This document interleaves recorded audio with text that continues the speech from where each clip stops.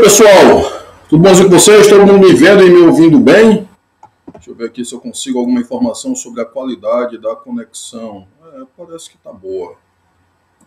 Parece que tá razoável. E aí, estão me vendo, me ouvindo bem? Tudo certinho? Tudo bom, danado? Vamos lá. Deixa eu ver aqui como é que estão as coisas no Meet.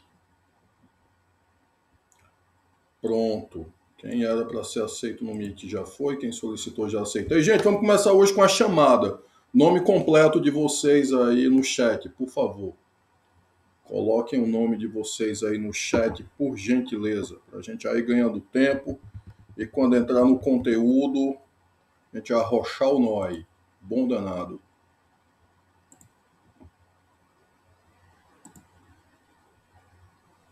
Até agora só o Ellison respondeu. E Leandro. Pronto. Copiando aqui o nome de vocês. Vamos lá. Tá o nome de vocês para cá, separado aqui. Pronto. Copiado também.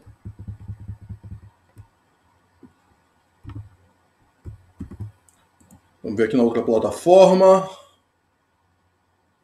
Não, Fábio, fique à vontade para assistir onde você quiser. Já pode colocar seu nome aqui, viu? Aqui também pode. Pronto, ó, Denis já respondeu aí, bom danado. Já peguei o nome dele aqui. Vamos lá, pessoal. Então, enquanto vocês vão respondendo aqui devagarinho, né, eu vou entrando no conteúdo da aula de hoje, né? Bom, Pessoal, controle de constitucionalidade. A gente já sabe que o controle de constitucionalidade é a verificação da compatibilidade ou da incompatibilidade das normas infraconstitucionais com a Constituição. Então, se você tem uma Constituição no topo do ordenamento, você precisa ter algum instrumento que proteja essa Constituição de normas infraconstitucionais, normas que estão abaixo dessa Constituição, que sejam incompatíveis com ela, tá bom? Então, essa é a ideia do controle de constitucionalidade. Tá bom? Então, é a verificação da compatibilidade ou da incompatibilidade das normas com a Constituição. Relembrando, pessoal, que o controle ele pode ser preventivo ou repressivo, né? E a gente já falou do controle preventivo na nossa última aula, que foi uma aula de conteúdo. O controle preventivo, ele visa evitar que normas inconstitucionais sejam produzidas.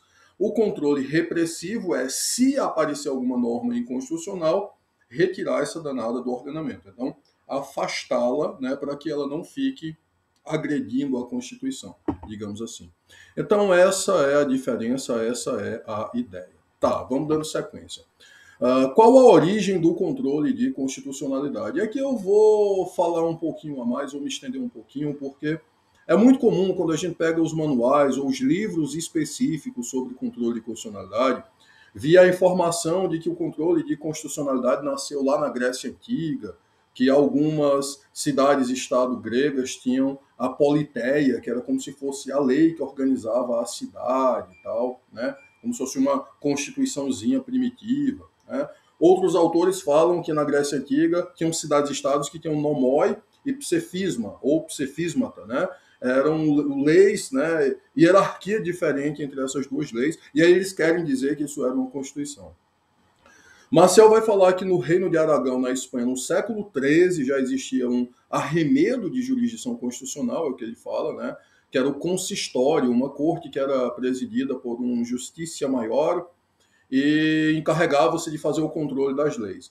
E Poletti, né, vai dizer que na Ronaldo Poletti vai dizer que na Inglaterra as categorias do direito natural foram aplicadas para anular leis contrárias ao common law. Então assim, é, vai ter gente que vai dizer que está na antiguidade, na Idade Média, etc. E por aí vai. Tá, tá errado, tá bom? Vou ser bem curto e grosso. Isso tá errado, isso não tá certo. Para a gente falar em controle de constitucionalidade, a gente precisa falar em constituição. E constituição é uma coisa relativamente recente na história da humanidade, né? Não é uma coisa tão antiga, tão velha assim, não. É lógico que sempre houveram hierarquias entre as normas. Então você tinha, sei lá, um imperador chinês lá na China antiga, sei lá, 5 mil anos atrás. Né? Uh, a palavra dele era a lei, estava lá em cima, né? Logo abaixo tinha, sei lá, o subordinado dele, né? Um, um, um... Tá, vamos, vamos, vamos para o Egito, que fica mais fácil. O faraó, né? A palavra dele era a lei, né? e ele era considerado Deus vivo, né? Então, o faraó, a palavra dele era a lei. Abaixo dele tinham, sei lá, os generais dele, tinham os, os, subordinados dele, que a palavra deles também tinha força, também tinha valor. Só que, claro, entre a palavra do faraó e de um general, um escriba, sei lá, alguma coisa assim, ia valer a do faraó. Então já tinha uma hierarquia. Né? Hierarquia entre normas sempre teve. Agora, a Constituição é uma coisa recente. A Constituição vai nascer na modernidade, né, com o Estado ocidental moderno. Tá bom? Então vamos lá. O Estado ocidental moderno, a gente sabe que ele surge ali na modernidade, a gente estudou isso em ciência política, não é? E eu trago aqui uma citação de Paulo Bonavides. Bonavides vai dizer: o Estado moderno, em verdade, significa uma nova representação de poder, grandemente distinta daquela que prevaleceu em passado mais remoto ou até mesmo mais próximo, como foi o largo período medievo. Tá bom? Então, Uh, não dá para falar em Estado como nós conhecemos hoje, na Idade Média, na Antiguidade, não dá para falar. É uma realidade nova, é uma realidade diferente.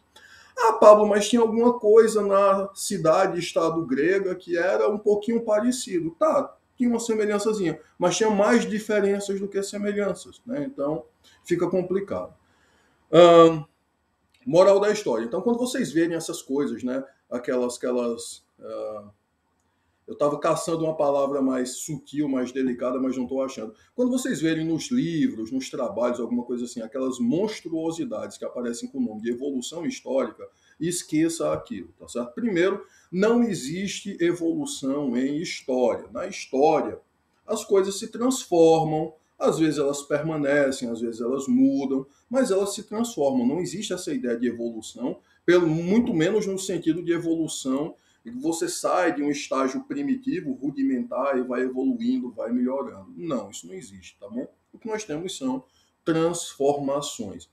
E essas transformações podem representar uma evolução, um avanço para uma pessoa e um retrocesso para outra, tá certo? Então imagine, por exemplo, quando as mulheres conquistaram o direito de votar, né, a igualdade em relação aos homens com relação ao direito do voto, votar. Para elas foi um avanço com certeza foi uma evolução. Mas, sei lá, se o cara era um homem machista, misógino, retrógrado, para ele isso pode ter sido um retrocesso. Meu Deus, estão acabando com o mundo, onde o mundo vai parar. Então, isso também é relativo, isso também depende do ponto de vista, tá bom? Trocando em miúdos, então, a Constituição vai nascer, a Constituição como nós conhecemos hoje, ela vai nascer ali com o Estado Ocidental moderno, e, sobretudo, a partir do constitucionalismo estadunidense, não é? Uh, e o controle de constitucionalidade, com relação ao controle de constitucionalidade, a gente pode situar a origem dele, situar o nascimento dele no célebre caso Marbury versus Madison. Atenção aqui, isso não significa dizer que o caso Marbury foi o primeiro, tá bom? Então, antes do caso Marbury, já tinha tido apreciação de constitucionalidade e inconstitucionalidade de leis lá nos Estados Unidos. Né? A Suprema Corte já tem algum, alguma coisa nesse sentido. As cortes estaduais, os tribunais estaduais, alguns já tinham, inclusive, seriam equivalentes ao nosso Tribunal de Justiça. Né? Os TJs de lá já tinham, inclusive, é, declarado algumas leis inconstitucionais.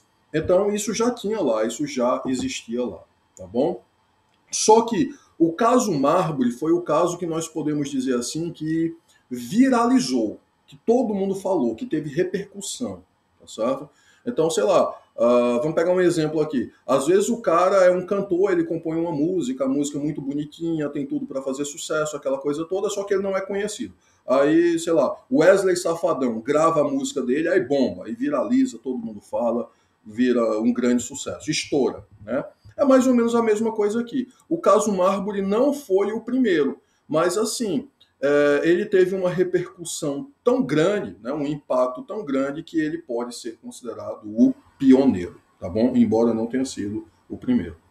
Então tá, caso Marbury, que vocês já viram lá em Constitucional 1, vocês já conhecem, mas que eu vou falar aqui novamente porque ele é importante para que a gente entenda o controle difuso e também porque é o meu momento casos de família da aula, né? um momento babado, que tem a briga, tem a intriga, essa coisa toda. Como foi o caso Marbury? Como é que ele aconteceu? Pessoal, John Adams foi o segundo presidente estadunidense, o segundo presidente dos Estados Unidos. E ele foi derrotado por Thomas Jefferson em 1800, tá bom? E aí o que é que aconteceu? O que é que acontece quando ele é derrotado?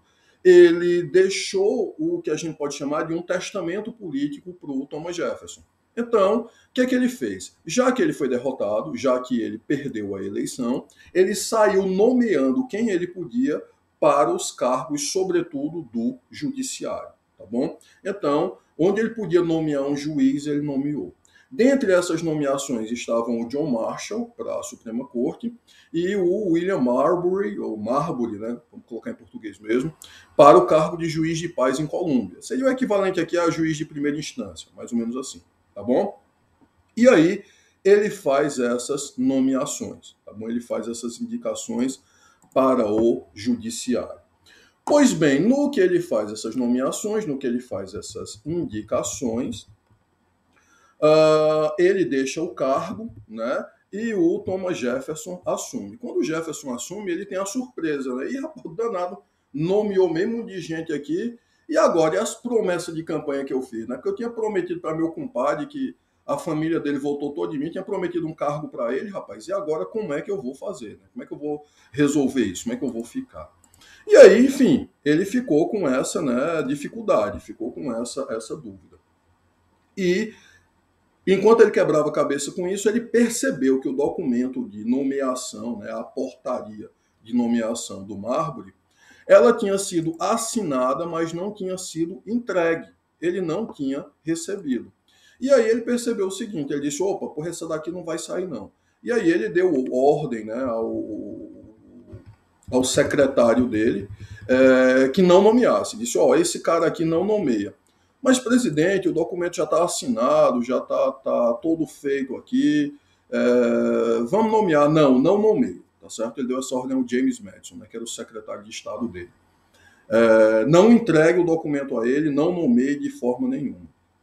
E aí, enfim, ficou esse impasse, né? ficou essa dúvida. E o que é que o Marbury fez? Ele interpôs o right of mandamus, né? o mandado de segurança, digamos assim, na Suprema Corte. E aí, quando o caso chega na Suprema Corte, começa a gerar repercussão. Né? Naquela época não tinha redes sociais, naquela época não tinha Instagram, não tinha é, WhatsApp, não tinha memes, não tinha Facebook, não tinha nada disso. Então, o que as pessoas tinham para fazer era conversar sobre política, né? E aí o negócio repercutiu e começou a especulação, né? Mais ou menos como, sabe, final de reality show, que vocês estão brigando aí, ah, fulano tem que ganhar, não, quem vai ganhar é fulano, essa coisa toda. Aqui era a mesma intensidade, o mesmo interesse das pessoas, só que o assunto era outro. Né? O assunto aqui era se a Suprema Corte ia ter coragem de peitar o presidente da República, ia ter coragem de bater de frente com o, presidente, e se o presidente ia obedecer à Suprema Corte ou não, como era que ia ficar. Então começou a especulação. Primeiro, ah, a Suprema Corte não vai ter coragem. Ah, mas o Marbury tem um direito. Então, a Suprema Corte vai decidir, mas o presidente vai desobedecer. Ah, mas se o presidente desobedecer, ele pode perder o cargo. Né? Isso justifica um impeachment. E aí ficou aquela polêmica. E a Suprema Corte levou nada mais, nada menos do que dois anos para decidir. E quem decidiu foi justamente o Marshall, que tinha sido nomeado pelo, pelo presidente anterior, né? pelo Adams. Então, ficou esse babado todo. E a confusão maior do mundo, a confusão mais horrível do mundo. Tá bom. Quando o Marshall decidiu, ele decidiu de uma forma muito inteligente e, de certa forma, ele veio de trás para frente. Ele foi do fim para o começo. Né? O que é que ele fez, pessoal? Ele fez o seguinte: ele analisou, se quando se você é um juiz, se você vai analisar um caso qualquer que tem um incidente de inconstitucionalidade, a primeira coisa que você vai analisar é se a lei é constitucional ou inconstitucional. Porque se ela for inconstitucional, você nem julga o caso. Ah, infelizmente a lei é inconstitucional, então não vou nem ler o resto não, tá bom? Facilita a sua vida. O Marshall fez o contrário. Né? A primeira coisa que ele analisou foi o Marbury tem o direito a, tomar posse no cargo, tem o direito à nomeação? Tem. Sim, ele tem. Então, primeira coisa, o Marbury está certo. Se o Marbury está certo, quem é está errado? O presidente. Né? Segundo, as leis fundamentam o pedido dele. O, o, pedido dele tem respaldo na lei, tem fundamento legal? Sim, ele tem. Né? Então, mais uma tapa no presidente. E aí, terceira, né, que aí ficou um 2-2, me perdoem, vou corrigir isso depois. É, terceira, interpor o mandado de segurança perante a Suprema Corte era o remédio legal correto? Não. E por que não? Porque ele entendeu que a lei do mandado de segurança era inconstitucional. Então, o que é que analisou? O que é que, que, é que ele analisou? O que é que ele apreciou? Ele apreciou o seguinte, pessoal. Ele disse: olha, só quem pode definir as competências da Suprema Corte é a Constituição. E a Constituição não diz que o cidadão, qualquer cidadão, pode interpor um mandado de segurança perante a Suprema Corte. Então, se a Constituição não diz isso, a lei que aumenta a competência da Suprema Corte é inconstitucional. E aí ele declarou que a lei era inconstitucional e ainda registrou lá que era tarefa, era dever, era prerrogativa de qualquer juiz fazer isso. Tá. Então, ele meio que deu um, um, um, deu uma tapa e assoprou depois, né, na cara do, do, do, do, Thomas Jefferson. Porque ele disse o seguinte: ele disse, olha, você está errado, mas eu não vou fazer nada porque a lei é inconstitucional. Eu vou deixar do jeito que Tá. Tudo certinho, tudo tranquilo até aqui. Deixa eu ver aqui como é que estão os chats. Opa, temos solicitações aqui no Meet. Aceito, aceito, aceito. Enquanto eu estou aceitando o povo aqui, pessoal, só um parênteses aqui. Não sei se vocês estão sabendo, nós voltamos para o Meet porque um, o, o, o, Teams, eu, eu particularmente prefiro o Teams, mas Uh, parece que em alguns computadores, em alguns celulares, ele ficava muito pesado, não rodava muito bem, e aí o pessoal pediu, né? O pessoal foi à coordenação e tudo, um número, uma quantidade considerável de alunos, muita gente foi buscar coordenação e tal, e aí foi decidido que nós voltaríamos para o Meet. O Meet que, enfim, é o Meet. Vamos lá, então, dando sequência aqui, né? Dando seguimento aqui na nossa conversa. Bom, então, como eu estava dizendo a vocês, o, o, o, Marshall, né, ele deu uma tapa e depois ele assoprou, né, deu um beijinho em cima para não ficar doendo. Foi isso que ele fez com o então presidente Thomas Jefferson. E assim, essa inimizade toda, esse babado todo, essa briga toda do Adams com o Jefferson, pessoal, faz a gente pensar que eles eram inimigos mortais, né? Não, não eram. Eles eram inimigos políticos, mas eram amigos pessoais. Eles, inclusive, eram bons amigos e, por uma coincidência do destino, eles, os dois morreram no mesmo dia, né, e quase na mesma hora. Os dois já idosos, né, morreram é, mais ou menos, tipo assim, na mesma noite. Um morreu cedo da noite e o outro morreu de madrugada. E eu não lembro agora é, qual foi deles, né? Mas teve um que, que é, no leito de morte, né, mandou, chamar, mandou chamar a família e tal, e, e, e, e enfim, para se despedir e tudo. E aí disse: Olha, pessoal, eu estou vendo que eu vou falecer e tal, chamei vocês para me despedir, essa coisa toda. E aí a família disse: Não, mas o senhor não vai morrer, não, o senhor não pode morrer, esse país precisa do senhor. E aí ele disse: Não. Enquanto, eu acho que foi o Adams que disse isso, Thomas Jefferson. Enquanto Thomas Jefferson viver, haverá democracia e esse país terá futuro.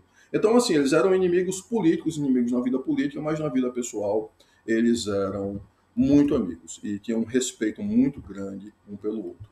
Uh, não lembro agora qual foi o que disse isso do outro, tá certo? Eu vou até atrás disso uh, depois, né? Mas tenho isso anotado em algum lugar. Mais um falou isso do outro. Assim, tamanho era o respeito que eles tinham um pelo outro.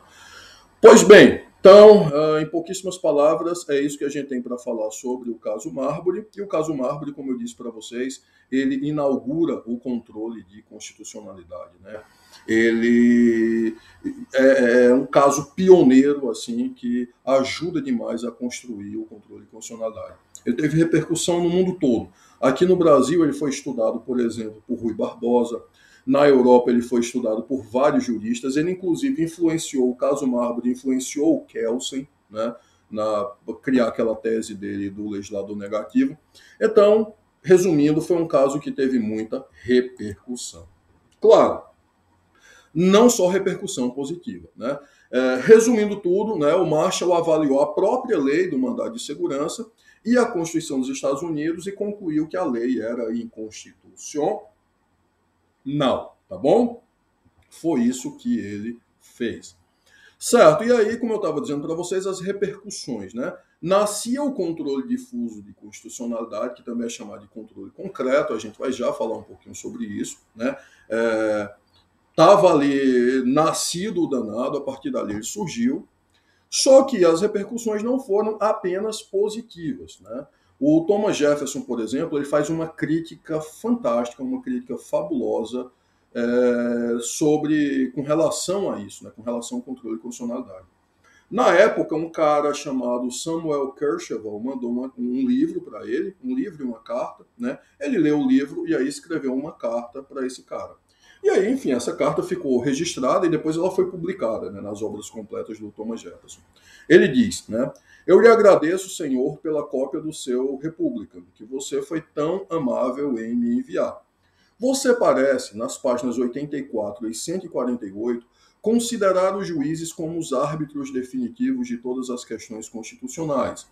Uma doutrina que é muito perigosa e que nos coloca sob o despotismo de uma oligarquia nossos juízes são tão honestos como os outros homens, e não mais. Eles têm, como todos os outros, as mesmas paixões por badalações, pelo poder e pelo privilégio de sua corporação. Seu lema é Boni iudicis et ampliare jurisdictionem. E seu poder o mais perigoso, pois eles estão no ofício por toda a vida e não são responsabilizados, como os outros funcionários são, pelo controle eletivo. Ou seja, um presidente, se você acha ruim, na próxima eleição você pode votar em outro.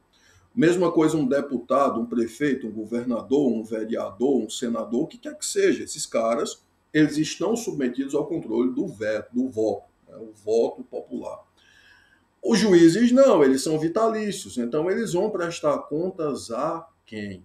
Né? Então, isso é extremamente perigoso. E hoje é fácil a gente perceber isso. Mas na época do Thomas Jefferson, ele foi genial em, perceber isso e fazer essa crítica tão bem feita. Tá bom? Prossegue ele, né? A Constituição não erigiu um tribunal único, sabendo que a quaisquer mãos que lhe confiasse, com as corrupções do tempo e das cerimônias, seus membros se tornariam déspotas. É mais sábio fazer todos os departamentos co-iguais e co-soberanos entre si. Bom, isso foi o que o Thomas Jefferson disse na época, uma crítica genial que eu assino embaixo. Né? Eu não tatuo essa, essa, essa crítica dele, sei lá, no braço, porque é muito grande.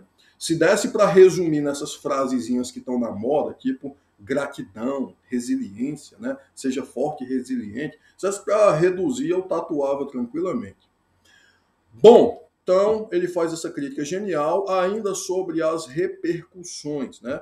A própria Suprema Corte foi muito receosa em relação a isso. Às vezes a gente tem a impressão, né? Ah, depois do caso Marbury, toda semana uma lei era declarada inconstitucional. Não. A Suprema Corte levou 50 anos, meio século, para voltar a declarar uma lei inconstitucional. Dred Scott versus Sanford. Então, a própria Suprema Corte usa esse poder com muita cautela, né? com muita moderação. Tá bom?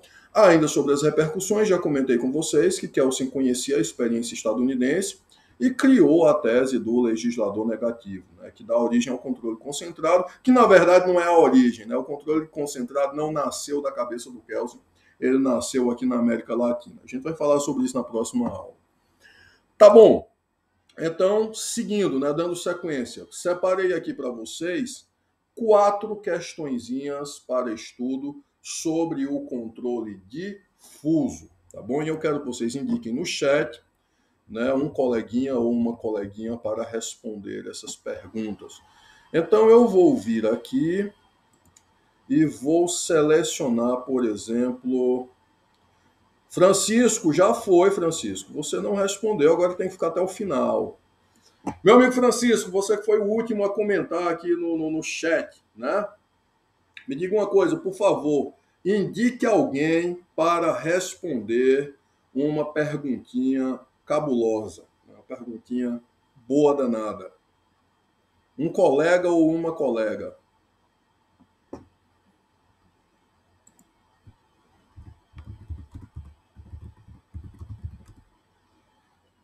Vamos fazer valer o meu salmo, né? Mateus 10. Não penseis que eu vim trazer a paz, eu vim trazer a espada e a discórdia. Vamos lá.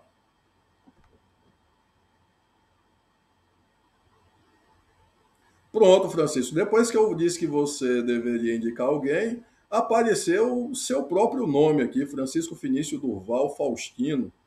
Então, ah, Leandro agora é tarde, Leandro é o próximo. Meu amigo Francisco, já que você se indicou por acidente, mas se indicou, primeira questão aí para você, de quem é a legitimidade ativa no controle difuso? Oi, Vitória, seja bem-vinda, querida. E aí, Francisco, o que é que eu quero dizer por legitimidade ativa? É quem é que pode levantar um incidente de constitucionalidade. Numa ADI, numa ação direta de inconstitucionalidade, quem é que vai ter legitimidade ativa, né? legitimidade para questionar a constitucionalidade da lei? Aqueles legitimados lá, presidente da República, Procurador-Geral da República, Partido Político Representação do Congresso Nacional, Conselho Federal da OAB, entidade de classe e âmbito nacional, etc.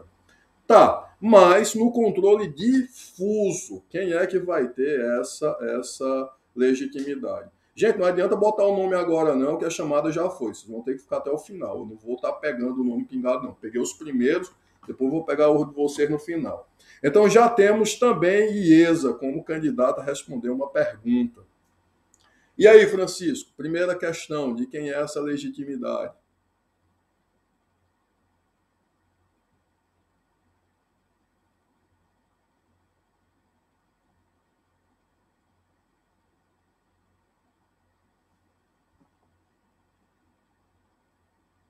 E aí, gente, já falei para vocês, não adianta colocar o nome agora que eu não estou fazendo chamada agora.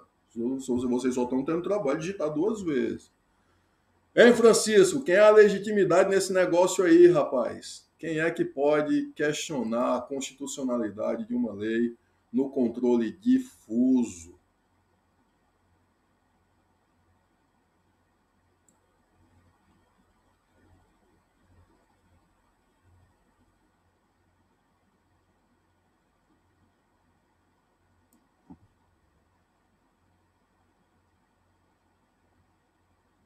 E aí?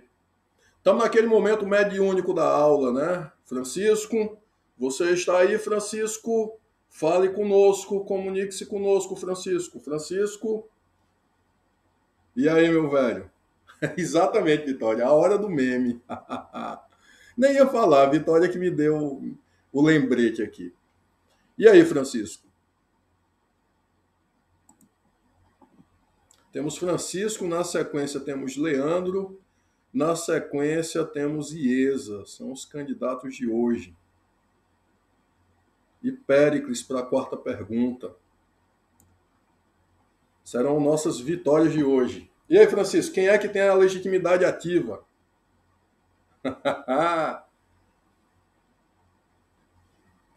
Chega, bate o nervoso.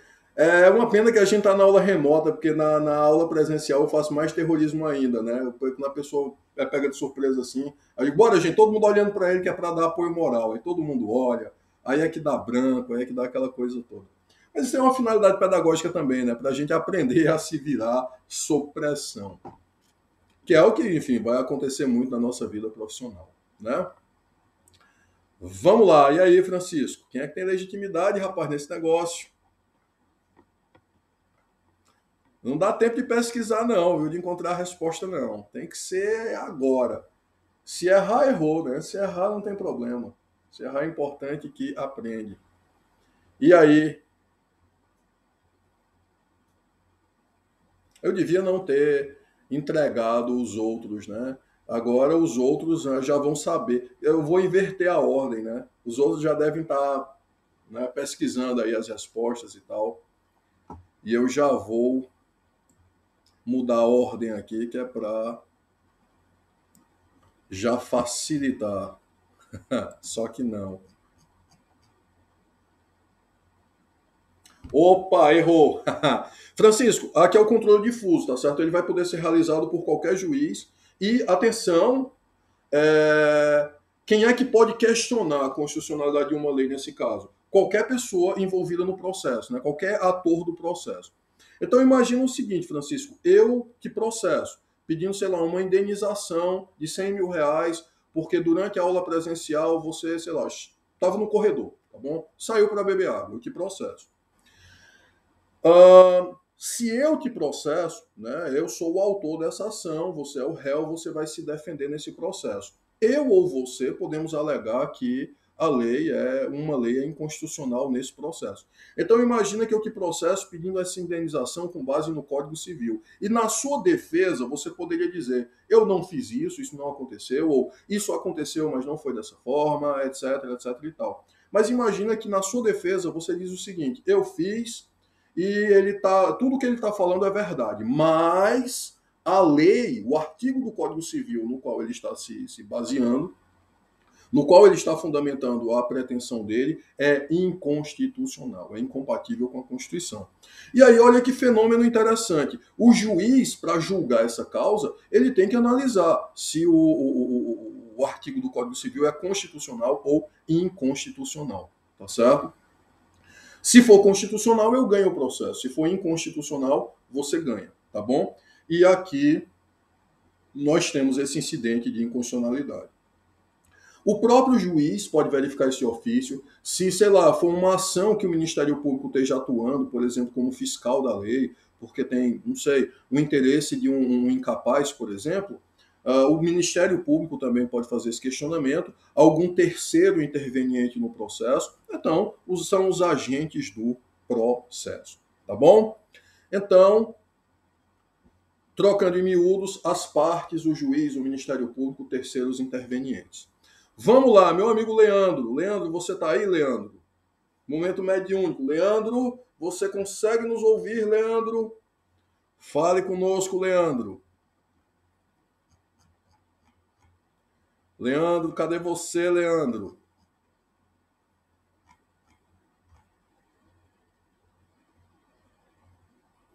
Acho que Leandro não tá, ele ou pelo menos ele não tinha respondido anteriormente, né?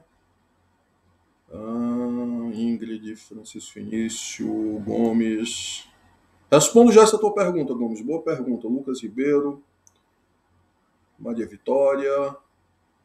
Eu acho que Leandro não está presente.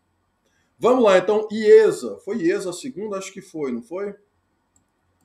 Vamos ver aqui.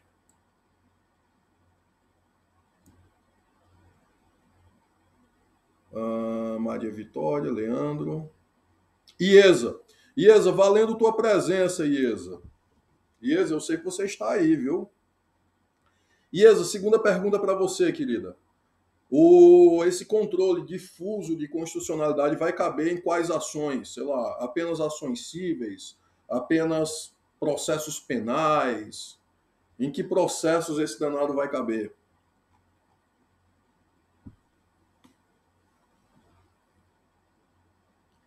E aí, Iesa, sei que você está aí, querida. Fale conosco.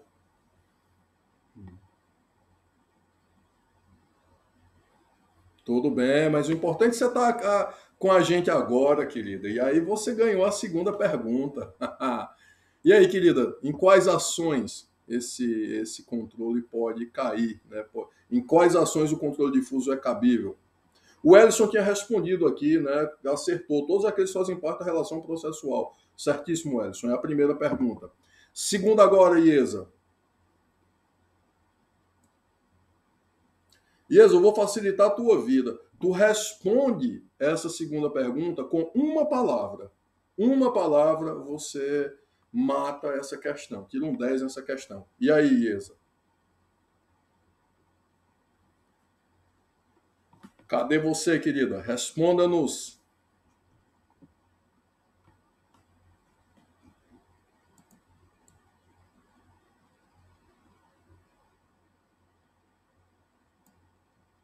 Beleza. Nós sabemos que você está aí, viu?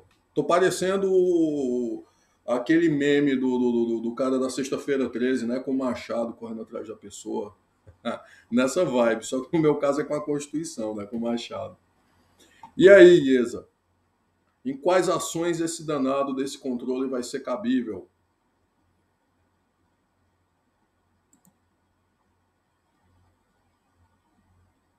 O Ellison já disse aqui que sabe. Vamos, vamos com calma, vamos dar uma oportunidade para ela.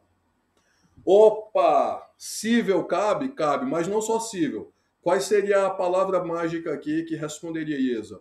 É, é cabível em quais ações? Todas, tá certo? Todas.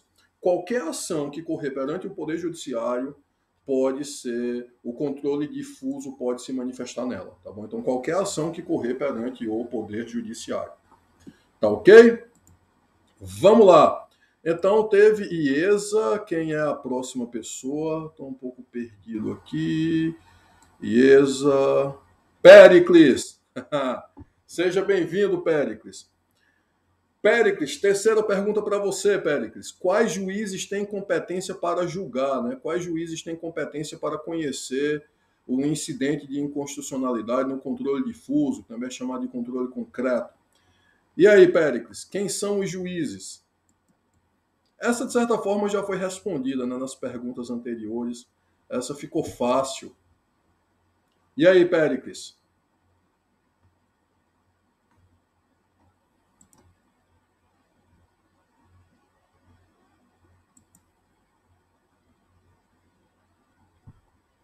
Péricles, sei que você está aí também, querido. Quais são os juízes? Só primeira instância, só tribunais, só o STF, só o STJ, STF, STJ, e aí? Quais juízos né, têm competência para julgar, para conhecer um incidente de inconstitucionalidade no controle difuso e aí, Péricles, cadê você? Valendo sua presença, viu? Iesa acertou só 50%, né? Mas conquistou a presença dela. Valendo a sua presença, meu amigo Péricles. Terceira questão para você.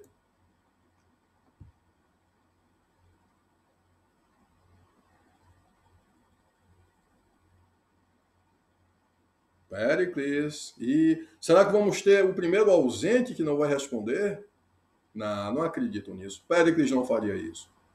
Só se a conexão dele caiu, só se teve algum motivo de força maior, tá certo? Uma força maior ou um caso fortuito.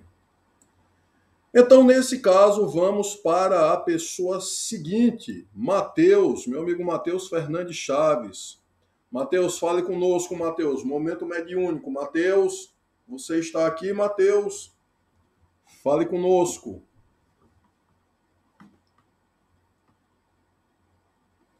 Mateus, você ganhou a terceira pergunta, né? Que era a pergunta de Péricles. E aí, Mateus? Quais juízes têm competência para julgar um incidente de inconstitucionalidade no controle difuso?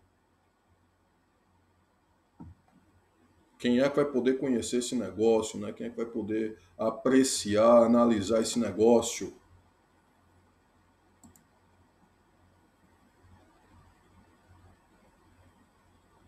Mateus, na verdade, se salvou, porque Mateus ia pegar a quarta, né? E a quarta é a pergunta mais cabulosa. E aí, Mateus?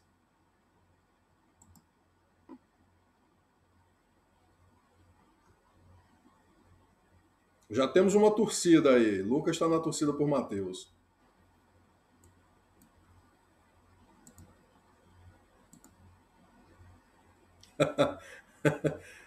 Mateus, lascou.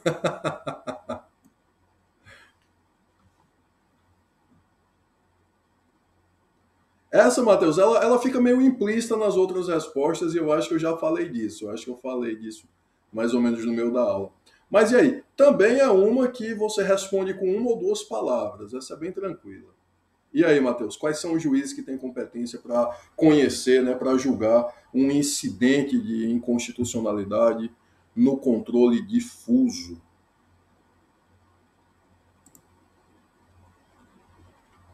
Opa!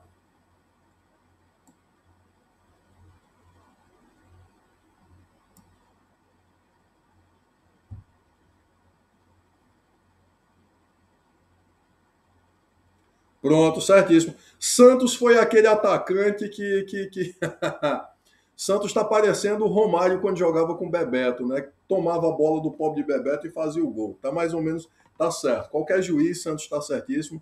E é isso mesmo, Matheus. Juiz de primeiro grau ou tribunais, né? Qualquer magistrado pode conhecer. E aí, é, seja singular ou alguma das cortes, algum dos tribunais, exatamente.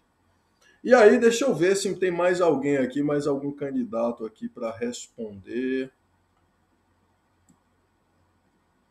É, não temos. Última chance aí para os que não responderam, né? Se tiver algum voluntário, essa é a hora. Vamos lá, pessoal, dando sequência aqui. Essa quarta, né, essa quarta questão é a pergunta que eu adoro fazer em sala, porque é a pergunta que eu pego uma pessoa de surpresa, sabe? E aí eu digo, quais são os efeitos da decisão? Né? Para quem são os efeitos da decisão? Quem é que é atingido por esses efeitos? E aí a pessoa dá aquela. pega de surpresa, mas aí diz: bom, os efeitos são apenas para as partes do processo. Né? Se uma pessoa está processando a outra, é apenas para as partes do processo, é interpartes. E aí eu, tá errado, aí passo para outra pessoa. Você, para quem quem é afetado pelos efeitos da decisão. Aí a pessoa pensa assim: bom, se não é só as partes, então é todo mundo. Todo mundo, erga omnes. É, tá errado também. Né? E aí faço essa brincadeira. Pessoal, quem é que é afetado pelos efeitos da decisão? Em regra, apenas as partes do processo. Em regra, apenas aqueles que estão envolvidos no processo. Mas existe a abstrativização do controle difuso, que a gente vai falar nela daqui a pouquinho. E aí, com isso, né, nós temos a possibilidade de, mesmo no controle difuso, que acontece no caso concreto, uh, outras pessoas que não têm nenhuma relação com o processo acabarem sendo afetadas também, né? acabarem sendo, enfim, é, é, sofrendo os efeitos dessa decisão. Tá bom? Bom, uh, para a parte inicial, né, para a parte, a primeira parte da aula, eu preparei essas perguntas e também preparei alguns conselhos, algumas dicas. A primeira é: faça a leitura do artigo As Evoluções Históricas e a Historiografia dos Juristas, reflexões sobre o surgimento do Judicial Review. Vou disponibilizar o PDF para vocês. Não precisa fichar, mas é importante que você passe uma vista, dê uma lida nele, tá bom? E vocês já sabem, né? Quando eu digo isso é porque isso vai voltar para vocês no futuro. Então, tem que dar uma lida, tem que passar uma vista nesse danado. Uh, Lauro, você deve ter chegado um pouco depois, querido. É, não estou pegando a chamada agora, tá bom? Eu não tenho condições, gente, de pegar a chamada. É, eu converso com vocês, aí alguém responde. Conversa de novo, alguém responde. Não dá, né? Se eu fizer, eu não consigo pegar o nome de vocês todos aqui. Então, a gente vai retomar a chamada no final da aula, tá bom? Com quem não respondeu. Vamos lá. Uh, tinha uma pergunta aqui que tinha sido feita acho que por Gomes, né? Uh, nesse caso, competente, da competência ele deixou para o juiz local e não da Suprema Corte.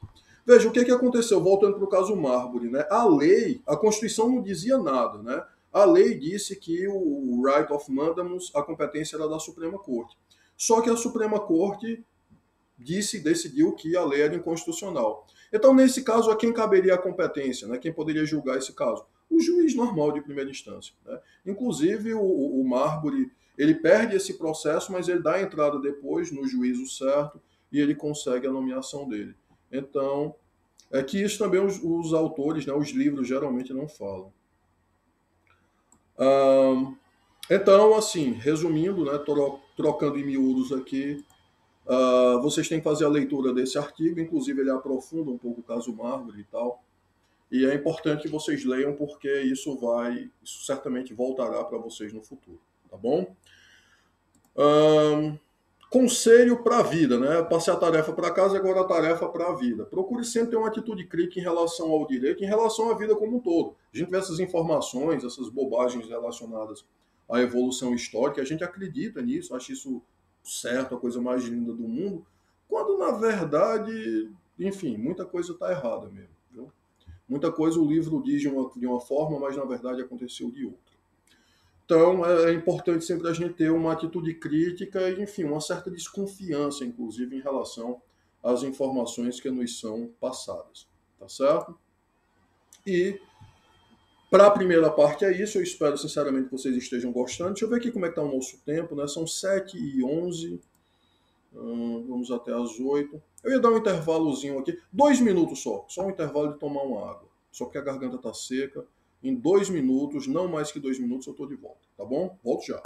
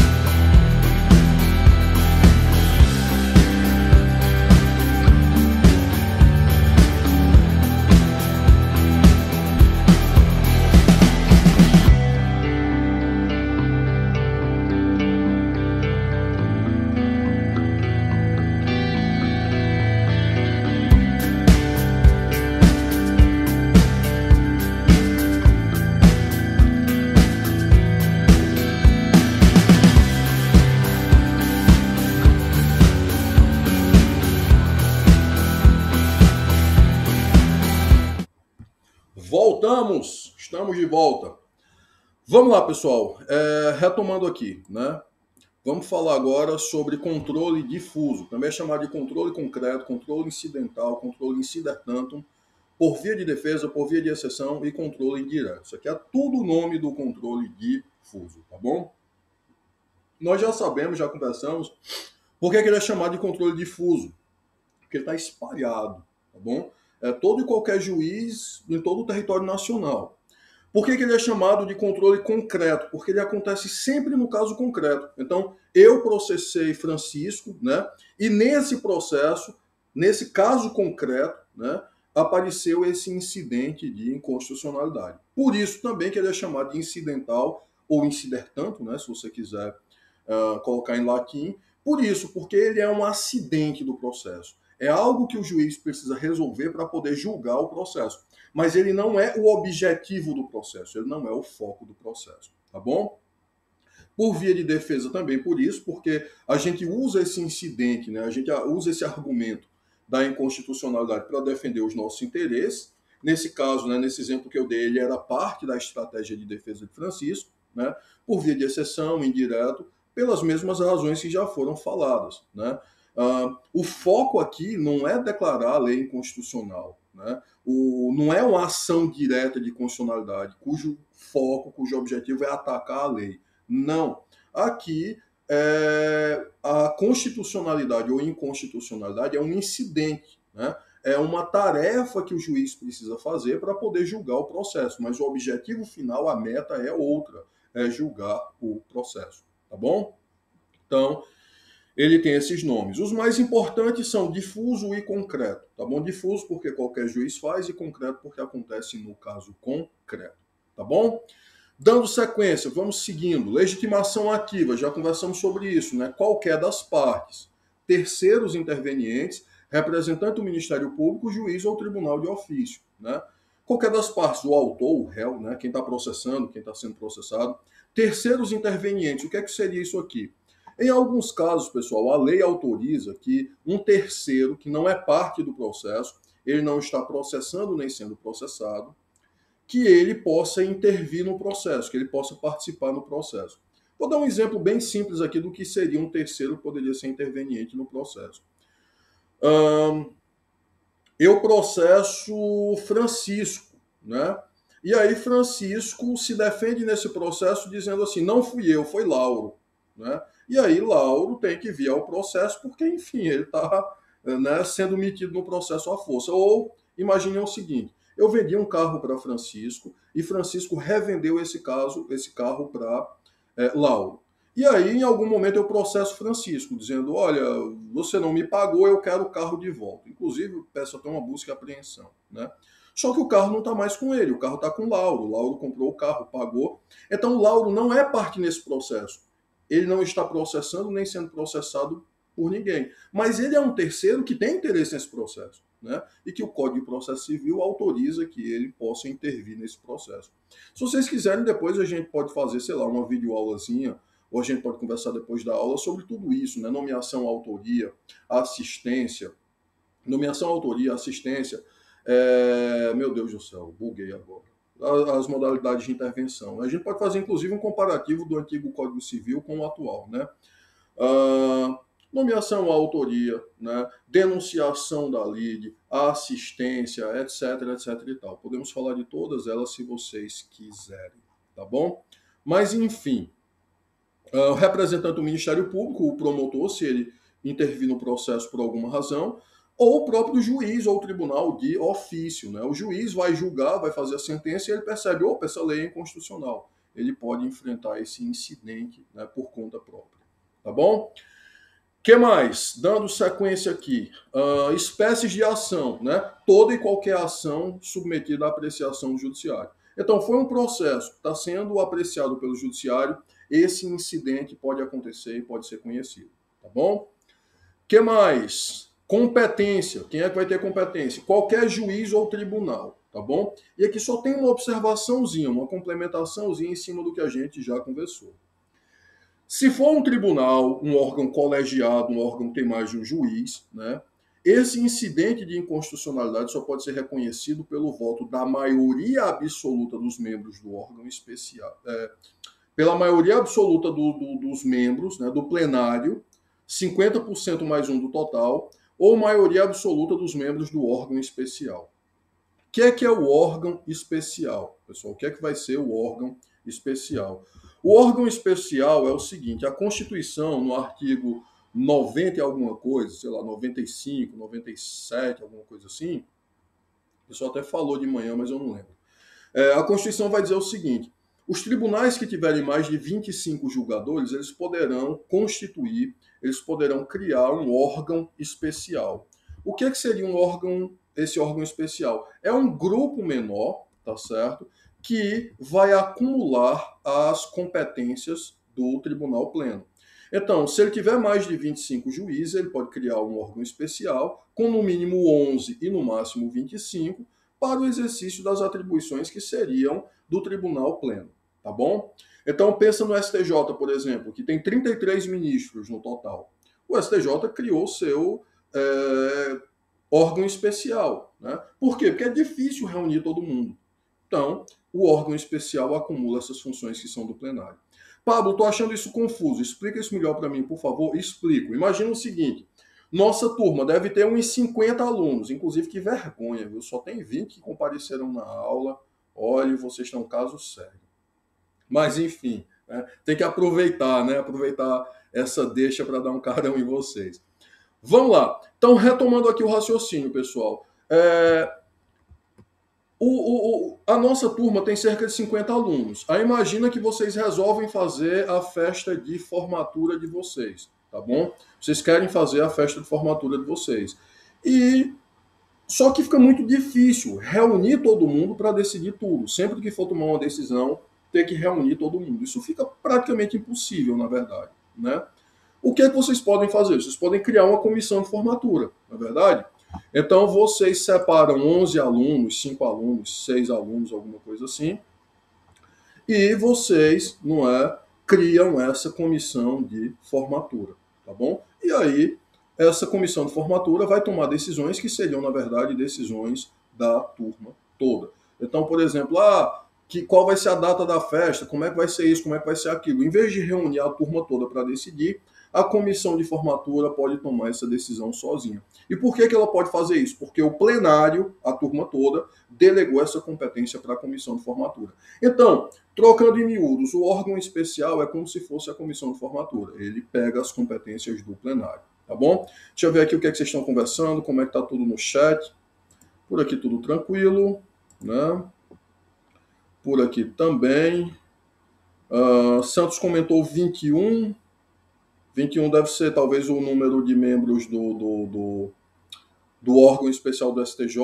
Não sei, não, não peguei a referência desse 21 aqui. Né?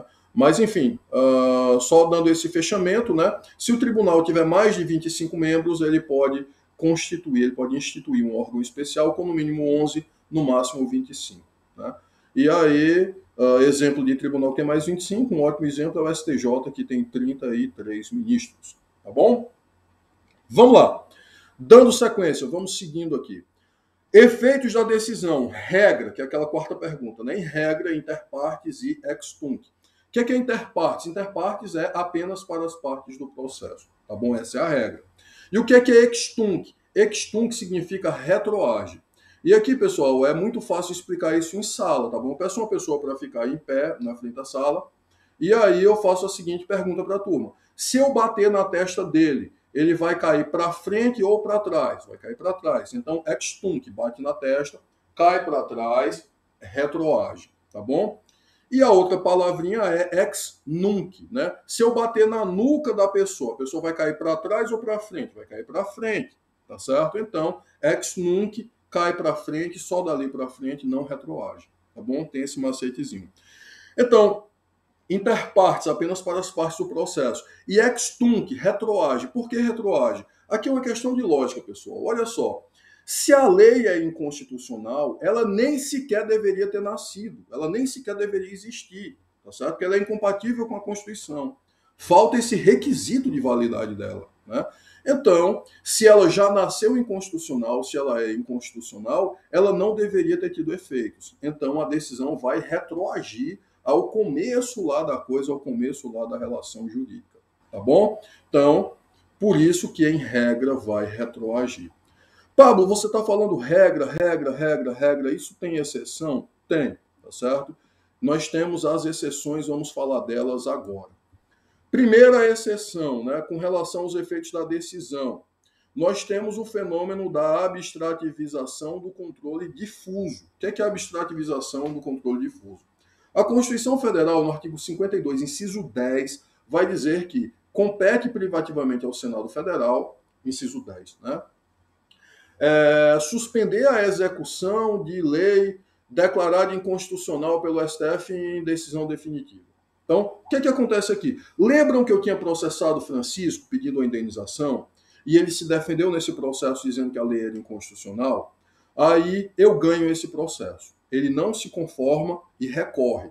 Ganhou o processo aqui em Juazeiro, né?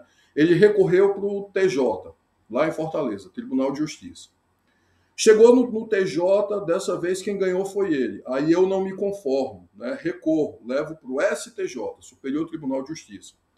Quando chega no STJ, sei lá, aí eu ganho de novo. Aí ele recorre e vai para o STF, consegue mandar o processo para o STF. Tá.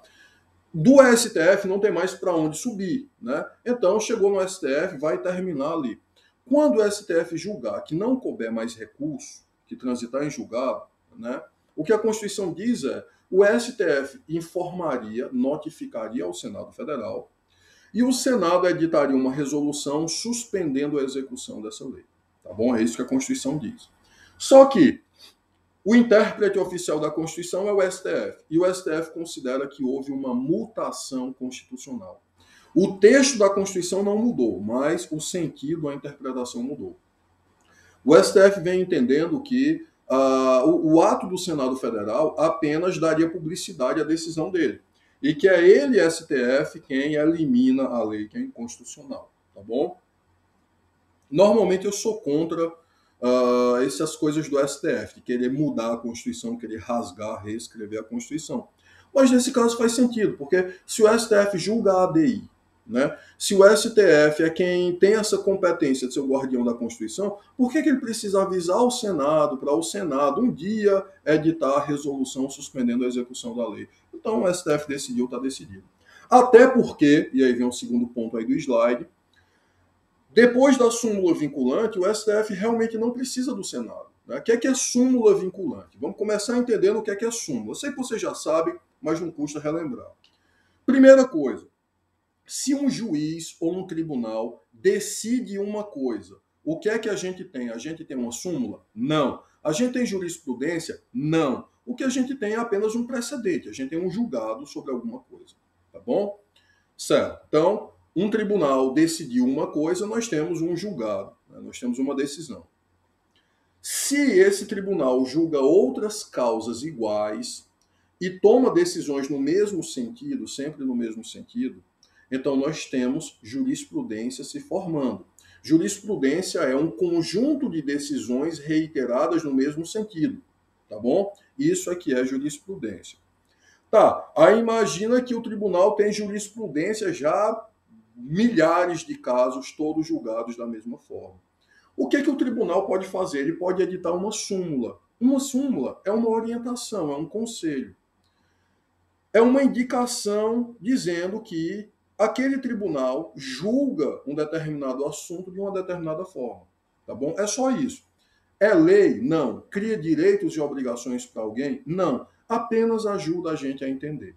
Tá bom? Então, quando você tem uma súmula, você sabe que o tribunal costuma julgar os casos daquela forma. Tá ok? Isso é a súmula. E o que é, que é a súmula vinculante? A súmula vinculante só quem pode fazer é o STF. E é uma súmula que, em vez de ser apenas uma orientação, ela vincula, ela obriga. Ela obriga quem? O restante do judiciário que está abaixo do STF e a administração pública. Ou seja, obriga praticamente todo mundo. Né? Então, isso é a súmula vinculante. É um conselho que é obrigatório, sabe? É aquele conselho que a tua mãe te dava com a chinela na mão, né? Você sabia que não era só um conselho. Se você desobedecesse, a P ia cantar para o seu lado. Então, isso é uma súmula vinculante. É um, diferente de uma súmula normal, ela não é só uma orientação, não é só um conselho. Ela vincula de fato. Tá bom? Certo. Então, por que, que eu estou dizendo isso? Porque o STF ele pode eventualmente editar uma súmula vinculante dizendo que uma determinada lei é inconstitucional. E ele não precisa do Senado para isso. Então, uh, por isso tudo, né, nós temos essas exceções nas quais a, os efeitos da decisão não serão interpartes, eles poderão ser para todos. Tá bom? Ainda sobre as exceções, nós temos a modulação dos efeitos da decisão. Eu disse a vocês que, em regra, né, os efeitos da decisão não retroagem. Né, perdão, os efeitos da decisão retroagem, extunc, né, vai matar o problema lá na origem. Só que às vezes, pessoal, isso pode produzir uma injustiça muito grande, isso pode produzir um problema muito grande. Imagina a seguinte situação: imagina que você é um servidor público, você estudou, você fez o concurso, você foi nomeado, você tomou posse, você entrou em exercício, depois de três anos você conquistou sua estabilidade, tá bom? E aí vem uma lei que te dá um aumento, aumenta o teu salário em 20%, ou coisa boa, né? Já ajuda, já é um dinheirinho a mais e tudo. Pronto. Aí essa lei aumentou teu salário. Você começou a receber esses 20% a mais e gastando e tal, tudo certo. Imagina que essa lei fosse inconstitucional. Ora, se essa lei for inconstitucional, ela não podia ter te dado aumento nenhum. E você não poderia ter recebido dinheiro nenhum. Então, o certo seria você devolver esse dinheiro. Você diz, ah, Pablo, mas não foi culpa minha. Tudo bem, mas você recebeu, não deveria ter recebido porque a lei é inconstitucional. Ah, mas eu recebi de boa fé. Pois é, mas não é extunc, então vai matar lá na origem, não era para ter recebido nada. Tá. Se você recebeu só um mês, é chato, mas você pode devolver, né? Dá para, enfim. Agora imagina que você passou 10 anos recebendo esse negócio e só então a lei foi julgada inconstitucional. E aí, como é que você fica? Nesses casos, o STF está legalmente autorizado a modular o efeito da decisão. Então é mais ou menos assim. Em vez de matar lá na origem, ele diz: olha, a lei é inconstitucional, ela nunca deveria ter existido, mas a minha decisão vai valer só daqui para frente, ou vai valer só a partir do mês que vem, ou a partir do ano que vem. Então o STF decide quando a decisão dele vai começar a ter efeitos, tá bom? Isso está previsto no artigo 27 da Lei 9.868 e no artigo 11 da Lei 9.882, né, que vão dizer que, por razões de segurança jurídica ou de excepcional interesse social, o STF pode, por maioria de dois terços de seus membros, restringir os efeitos daquela declaração de inconstitucionalidade ou decidir que ela só tenha eficácia a partir do seu trânsito em julgado ou de outro momento que venha a ser fixado, tá bom? Então, Para isso ficar bem claro para vocês, eu vou dar um exemplozinho aqui que vocês vão entender tudo, nunca mais vão esquecer isso. Muita gente me perguntou, Pablo, por que, que a AV1 foi a média das notas? Por que, que não foi a nota mais alta? Era tão bom se fosse a média, não sei o quê. Tá, pessoal, por que, que foi isso? Por uma razão muito simples. Eu descobri né, que semestre passado, na AV2, algumas pessoas. Eu, eu, tive uma turma, tá certo? Vocês não conhecem uma turma já mais avançada. Eu tive uma turma que teve um fenômeno muito curioso, né? Acho que uns 15 alunos, na primeira tentativa, todos zeraram.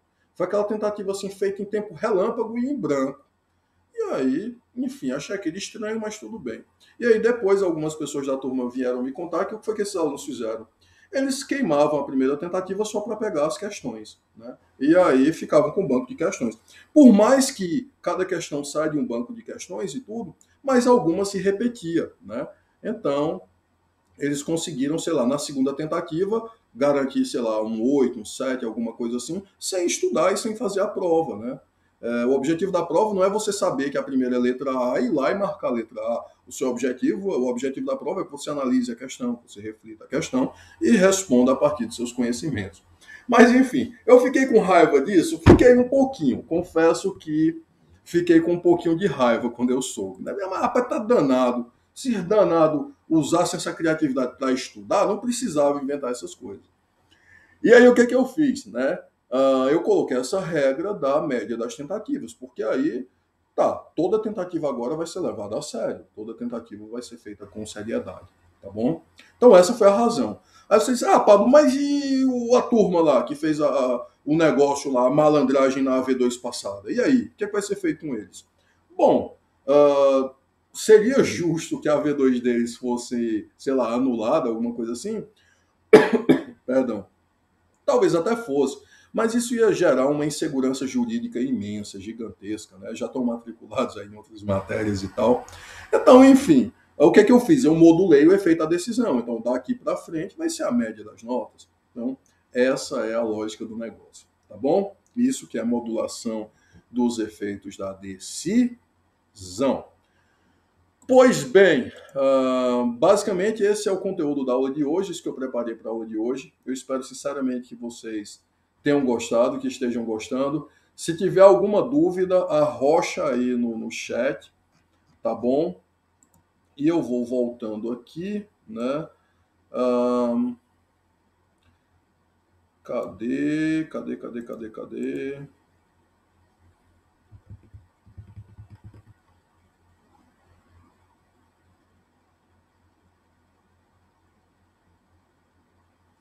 Pessoal, eu peguei uh, o nome de. Cadê aqui? Achei. Peguei o nome de é, Denis, né? Peguei o nome de Glenda, Ricaele, Nicole, Lucas Ribeiro, Matheus Lacerda, Thalita Evangelista e Marcílio França. E aí depois o nome de vocês ficou muito espalhado aí. Então, quem respondeu depois de Marcílio, por favor, coloca o nome completo agora aí no final do chat, tá bom? Para a gente ficar com tudo organizadozinho, por gentileza. Tá bom? Então agora é a hora, agora é a hora de arrochar o nome aí no chat e aí eu copio e lanço na frequência mais tarde, tá bom? E bom, vou desativar aqui a câmera, mas se aparecer alguma dúvida, joga no chat aí também, a gente vai conversando, tá bom? Deixa eu ver como é que tá o nosso tempo. É, ficou basicamente o tempo da chamada, realmente. Ah, e aí, meu povo, cadê vocês? Estavam doidos para responder a chamada e agora eu digo que pode responder a chamada, não estão respondendo. Pronto, apareceu Fábio, João Luiz dos Santos, Ingrid, Aleph, Rafael, Larissa, Matheus Fernandes, Caroline, Tiago,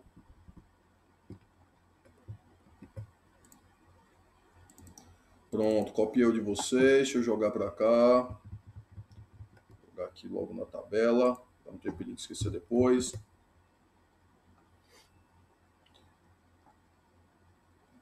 Leandro.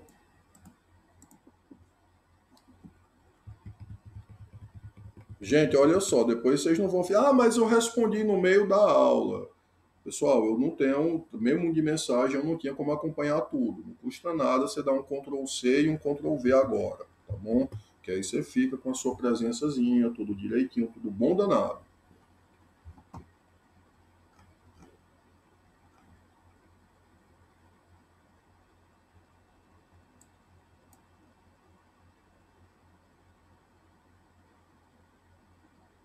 Ah, tem um pessoal que eu coloquei no documento à parte aqui, que foi o pessoal que conquistou a presença com as perguntas, né? Iesa está aqui separado, Iesa Francisco.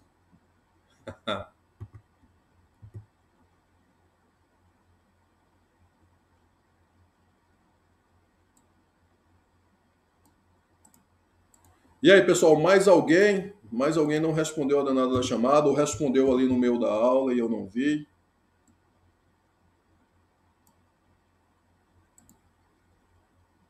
Nome completo, por favor, pessoal. Senão depois é o sofrimento mais horrível do mundo para achar o nome de vocês. Se eu não achar, eu não tenho como botar a presença, né?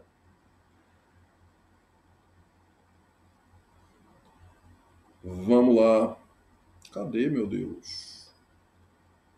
Iesa colocou de novo. Iesa, você já estava. Você entrou na, no grupo do, do, do, do, do pessoal da frequência. Você e Francisco.